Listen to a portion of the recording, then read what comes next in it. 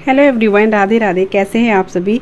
तो आज मैं आपके लिए जो वीडियो लेकर के आई हूँ ना, वो बहुत यूज़फुल है सभी के लिए, सभी लेडीज़ के लिए।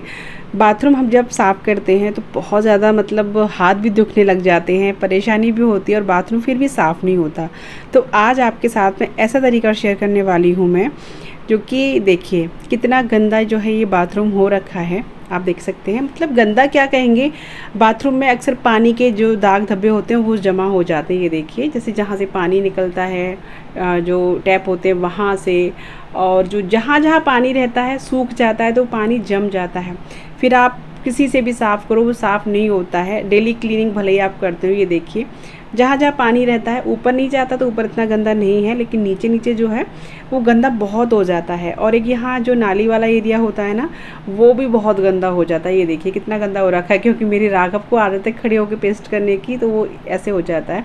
और देखिए, नीचे भी आपको दिखा रही हूँ, कितना ज़्यादा मतलब जमा जमा सा वाइट वाइट सा आपको दिख रहा होगा। ये देखिए ये देखिए। और कॉर्नर जो होते हैं ना, एकदम जो दीवार साइड के वो भी साफ़ नहीं हो पाते हैं। आप डेली क्लीनिंग करते हैं। लेकिन आज मैं आपके साथ जो तरीका शेयर करने वाली हूँ, वो बहुत ही ज़्यादा यूज़फुल और फटाफट चुटकियों में आपका बाथरूम जो है साफ़ हो जाएगा, एकदम क्लीन हो जाएगा। और ये तरीका जो आपके साथ शेयर करने वाली हूँ, वो है जो इस भैया ने टाइल्स लगाई थी, मैंने उनसे ही पूछा था कि भैया टाइल्स की सफ़ाई हम कैसे कर सकते हैं? तो उन्होंने वो तरीका मुझे बताया था। तो चलिए शेयर करती हूँ आपके साथ में। तो देखिए, यहाँ पे लिया है मैंने हारपिक। जी हाँ हारपिक लिया है और हारपिक से हम करेंगे अपने बाथरूम की क्लीनिंग। तो कैसे करेंगे, चलिए आपके साथ बताते हैं। तो यहाँ पे देखिए, सबसे पहले आपको अपनी दीवार को जो है वो गीला कर लेना है थोड़े थोड़े पानी से। इस तरीके से मैं कर रही हूँ। मैंने अपने पूरे बाथरूम की दीवारों को गीला किया हुआ है और पहले बाथरूम को मैंने कर लिया है खाली, बिल्कुल सब कुछ निकाल दिया उसमें से। और ये देखिए, ये लिया है मैंने हार्पिक। इसमें आपको कुछ भी मिलाने की ज़रूरत नहीं है। ये देखिए, इस तरीके से आपको बस लगाते जाना है दीवारों पे। ये देखिए, क्योंकि ज़मीन के टाइल्स तो आप साफ़ कर सकते हैं, लेकिन दीवार के टाइल्स साफ़ करना बहुत मुश्किल हो जाता है। तो इस तरीके से लगाना है आपको हार्पिक को सारी जगह, जिसके पूरी तरीके से हार्पिक फैल जाए। इस चीज़ का ध्यान रखिएगा कि सब जगह हार्पिक लग जाना चाहिए। नहीं तो क्या होगा ना कि हार्पिक जहाँ जहाँ हम लगाएँगे ना, वो एरिया साफ़ हो जाएगा, जहाँ जहाँ रह जाएगा, वो एरिया आपका रह जाएगा, जो कि मैं आपको आगे दिखाऊँगी कि कुछ कुछ रह गया था मेरा भी। तो यहाँ पे देखिए, मैंने हार्पिक को इस तरीके से फैला लिया है। कुछ भी मिलाने की ज़रूरत नहीं है। मैंने देखा है यूट्यूब पे बहुत लोग ये मिलाओ, वो मिलाओ, कुछ नहीं, वर्क तो इसमें हार्पिक ही करता है। तो ऐसा कुछ नहीं है कि आप इसमें कुछ भी मिलाइए, बस सिंपल हार्पिक डालिए। और अब देखिए, मैंने चारों तरफ़ फैला दिया है, ज़मीन पे भी फैला दिया है। अब मुझे इसको पूरे में एक सार फैलाना है, जैसे कि एक ब्रश ले लीजिए आप, कपड़े धोने वाला ब्रश हो, या आप कोई कपड़ा ले लीजिए, जैसे कि अच्छे से इस पर पूरी दीवारों पे, आप देख सकते हैं, जैसे लाइन लाइन दिख रही है ना। तो वैसे नहीं करना है, पूरे में इक्वल आपको हार्पिक को फैला देना है, जैसे कि मैं कर रही हूँ, मैंने ब्रश ले लिया है इस तरीके से। तो मेरा ब्रश जो है, उसमें हैंडल लगा हुआ है तो मैंने वैसा वाला ले लिया है। तो मैंने पूरे में पहले इसको ना फैला देना है। अच्छी तरीके से कोने कोने में, पूरी नीचे भी ज़मीन पे और दीवार के टाइल्स पे भी सारे में आपको इस तरीके से हार्पिक को छोड़ देना है। और इसको करने के बाद कम से कम आपको उसको 10 मिनट तक छोड़ना पड़ेगा ऐसे ही। तो मैं आपको बस दिखा रही हूँ सुबह सुबह मैं क्लीनिंग करने बैठ गई थी आज।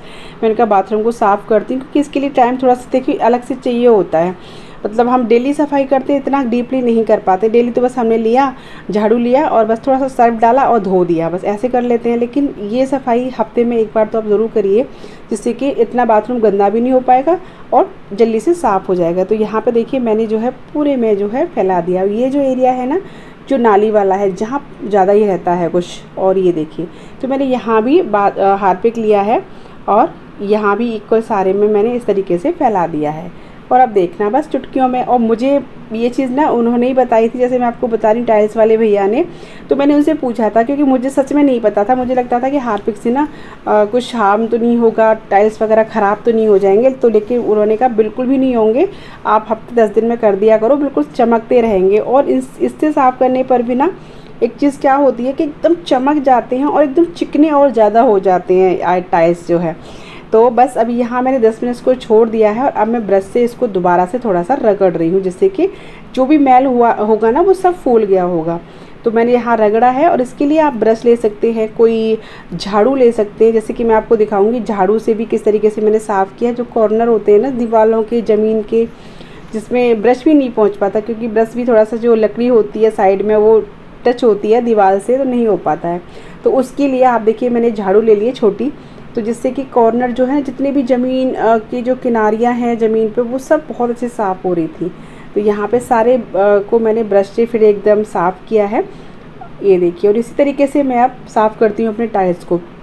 और ये हार्पिक जो है, मैंने अलग से ले रखा है। ये मैं आपको दिखा रही हूँ कि आप ये इस तरीके का भी ले सकते हैं सॉक्स में, जैसे मैंने आपको पहले दिखाया था कि मैंने जो स्क्रबर लगा रखा है बर्तन साफ़ करने वाला तो उससे आप देखिए बहुत ईजी हो जाता है इससे भी। जैसे कि आप झाड़ू वगैरह से नहीं करना चाहते तो ऐसे आप ले लीजिए कपड़ा और उस पर आप स्क्रबर लगा लीजिए या जूना ले लीजिए जो फॉर्म वाला होता है उससे भी साफ़ हो जाता है। और यहाँ से मैं टैप भी साफ़ कर रही थी। टैप मैंने साफ़ किए थे बहुत चमक गए थे तो वो तरीका भी आप कहेंगे तो आपके साथ शेयर करूँगी, क्योंकि टैप जो होते हैं नल के, उन पर भी पानी जम जमा हो जाता है तो बहुत ही गंदे दिखते हैं वो। तो बस अब यहाँ मैंने रगड़ के क्या किया है, पानी से अपनी जो पूरा बाथरूम है, उसको मैं क्लीन कर रही हूँ, फिर मैं आपको दिखाऊँगी कि मेरा बाथरूम जो है, किस तरीके से वो चमक गया था। और क्या कह रही थी मैं? हाँ तो बस इस तरीके से आप कर सकते हैं मैं भूल जाती हूँ। तो बाथरूम की सफ़ाई आप ज़रूर से हफ़्ते में इस तरीके से आप कर लिया करें तो बहुत आसानी से बाथरूम भी साफ़ हो जाएगा और बाथरूम में ज़्यादा गंदगी जमा भी नहीं होगी। आपने देखा होगा मेरे बाकी और गंदगी जमा नहीं थी, लेकिन वो जो टैप वाला एरिया था ना, वो मैं कम कर पाती हूँ साफ़, क्योंकि इतना भाई थोड़ा सा टाइम चाहिए। तो अब देखिए यहाँ मैंने सारे बाथरूम को धो दिया है और अब आप शाइनिंग देखिए। और देखिए, जो मैं आपको दिखा रही थी ना कि जहाँ जहाँ वो हारपिक रह गया था, वहाँ वहाँ थोड़ा सा वाइटपन रह गया, जो मैंने फिर से साफ़ किया था बाद में। और ये देखिए, मेरे टैप जो है बिल्कुल नए जैसे आपको लग रहे होंगे, चमकीले चमकीले। तो इनको मैंने कैसे साफ़ किया है, किससे साफ़ किया है, वो आप मुझे कमेंट कर सकते हैं, अगर ज़रूरत हो आपको तो मैं आपके साथ वीडियो शेयर करूँगी। तो ये देखिए, थोड़ा सा आपको नीचे वाइट दिख रहा होगा, जहाँ के हारपिक लगने से रह गया था। और इतना चमक गए थे ना ये कि देखिए, पूरा एरिया एकदम साफ़ हो गया है। और एक चीज़ का ध्यान रखना, जैसे स्टील वाली जाली है ना ये, जो नाली पे होती है, उस पर आप लगा के हार्पिक मत छोड़िएगा, क्योंकि वो फिर काली पड़ जाती है। उस पर आप साथ के साथ साफ़ कर दीजिएगा लगा करके। तो पूरा जो है मेरा एरिया, पूरा बाथरूम दीवार से लेके ज़मीन तक साफ़ हो चुका है। इस तरीके से चमक चुका है। तो कैसी लगी आपको वीडियो? अगर वीडियो यूज़फुल लगी हो तो प्लीज़ फ्रेंड्स फैमिली में शेयर कीजिएगा। चैनल पर नहीं हो तो सब्सक्राइब किए बिना कहीं मत जाइएगा। मिलती हूँ ऐसी ही अगली वीडियो के साथ। तब तक के लिए bye take care Radhe Radhe thanks for watching